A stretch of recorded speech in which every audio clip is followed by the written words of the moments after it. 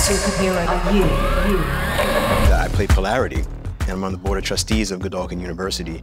And my son is one of the leading students at Godolkin University, and I'm trying to help elevate his stature and uh, get his franchise up to the point where he can maybe join the seven.